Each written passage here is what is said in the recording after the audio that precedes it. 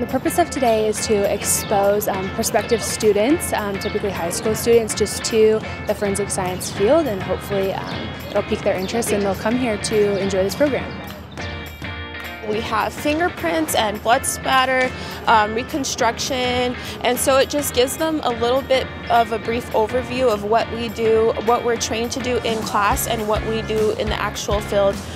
I want the kids to see a different aspect of what I've been teaching them. And the kids always like to get out, and maybe some of them might be interested in GCU. I think my favorite part today is just being out here representing the field because I've always loved science. So I think it's really cool that all these kids can come in and we get to talk to them about science, which is what we're all passionate about, obviously, because of our major.